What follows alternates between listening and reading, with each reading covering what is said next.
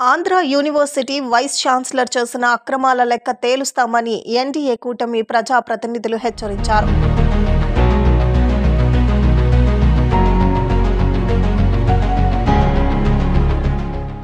University ప్రాంగణాన్ని YCP కార్యాలయంగా మార్చేశారంటూ మండిపడ్డారు. AU VC Prasad Reddy రాజీనామా చేసేలా ఒత్తిడి తెచ్చేందుకు క్యాంపస్ తీరును పరిశీలించేందుకు ఎంపీ సీఎం రమేష్ విశాఖ నగర ఎమ్మెల్యేలు గంటా శ్రీనివాసరావు వెలగపూడి రామకృష్ణ వంశీకృష్ణ యాదవ్ శనివారం వచ్చారు. వీరి రాకను తెలుసుకున్న వర్సిటీ ఉద్యోగులు వివిధ సంఘాల నేతలు వీసీ బాధితులు భారీగా పాలనా భవనం వద్దకు తరలివచ్చారు. ఎమ్మెల్యే గంటా శ్రీనివాసరావు మాట్లాడుతూ వర్సిటీ ఆవరణలో ఇనుప కంచెలు ముందు తొలగిస్తామని తెలిపారు. బరితెగించి పార్టీ కార్యకలాపాలను ఇక్కడ నిర్వహించారని ఆరోపించారు. కావాల్సిన వారి కోసం ప్రత్యేక పరీక్షలను నిర్వహించారని ఆరోపించారు. ఆయన చేసిన తప్పులు అన్నిటికీ తగిన శిక్ష పడేలా చర్యలు తీసుకుంటామని స్పష్టం చేశారు.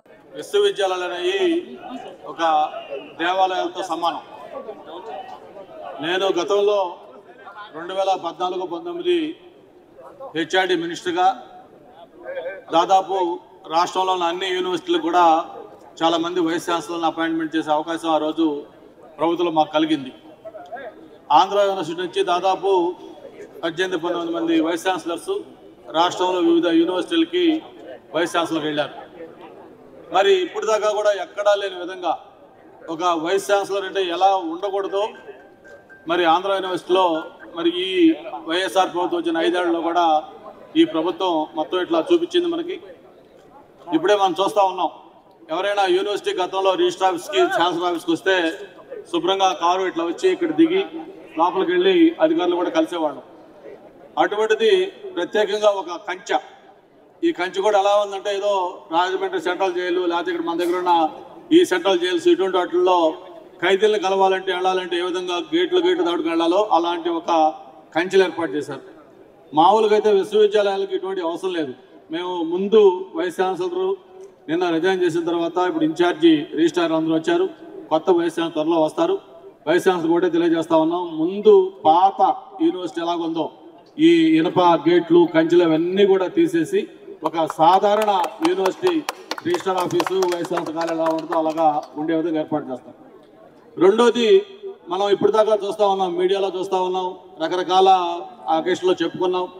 ఈ వైస్ గారు వచ్చిన తర్వాత ఎలాంటి కార్యక్రమాలు చేశారు? వైఎస్ఆర్ పార్టీ కార్యాలయంగా దీన్ని ఎలా వాడారు?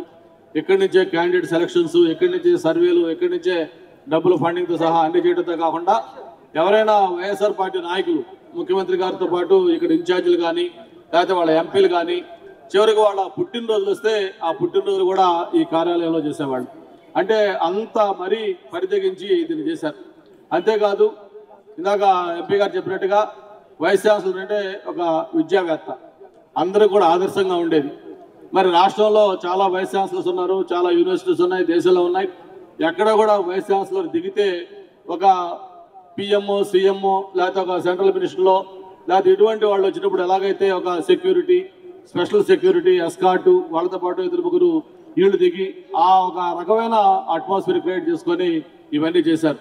అంతేకాదు దేశంలో ఎక్కడా లేని విధంగా స్పెషల్ ఎగ్జామినేషన్స్. అంటే ఎటువంటి స్పెషల్ ఎగ్జామినేషన్స్ అంటే ఎవరైనా తనకు కావాల్సిన మనుషులు ఈ యూనివర్సిటీ సర్టిఫికేట్ కావాలి దీంట్లో ఏదైనా కావాలనుకుంటే వాళ్ళ కోసం అకాడమిక్ షెడ్యూల్ కాకుండా ఒక స్పెషల్ ఎగ్జామ్స్ అని పెడతారు. ఆ స్పెషల్ ఎగ్జామ్స్లో ఎప్పుడు పెడతారు ఎందుకు పెడతారు ఎవరు పెడతారు ఎవరు వాల్యుయేషన్ చేస్తారు ఏవి కూడా లెక్క లేకుండా వాళ్ళని పాస్ చేస్తారు. అవసరం వస్తే డిస్టింక్షన్లు కూడా ఇస్తారు. మీకు అటువంటి ఉదాహరణ ఈ మధ్య ఎవరైతే ఒక ఐపీఎస్ ఆఫీసర్ సంజయ్ గారు తెలుసు మీకు చూసి ఉంటుంది. ఆ- ఆయనకు కూడా అటువంటి ఒక స్పెషల్ ఎగ్జామినేషన్ పెట్టి ఆయనకి పట్టాలు ఇచ్చిన విషయం మన యూనివర్సిటీలో జరిగింది.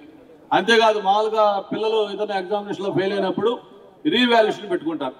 కానీ ఇక్కడ రీ రీవాల్యుయేషన్ అంటే రీవాల్యుయేషన్ అయిన దాని మీద కూడా మళ్ళీ రీవాల్యుయేషన్ రీ రీవాల్యుయేషన్ పెట్టి వాళ్ళకి కావాల్సిన విధంగా చేసుకొని అంటే ఇట్లా చెప్పుకుంటా పోతే అన్ని రకాల అవకతవకలకి కూడా యూనివర్సిటీలో పడ్డారు. ఖచ్చితంగా ఇందాక రమేష్ చెప్పినట్టుగా ఏదైతే పదవికైతే రాజీనామా చేశాడు కానీ ఆయన చేసిన తప్పులు ఏవైతే ఉన్నాయో అవన్నీ కూడా ఖచ్చితంగా ఎంక్వైరీ చేసి దానికి తగిన శిక్ష విధించినట్టు చేసి భవిష్యత్తులో మళ్ళీ ఇంకొకరు ఎవరు కూడా ఇటువంటి పనులు చేయాలంటే భయపడే విధంగా ప్రభుత్వం తప్పకుండా చర్యలు తీసుకుంటా ఉంటుంది.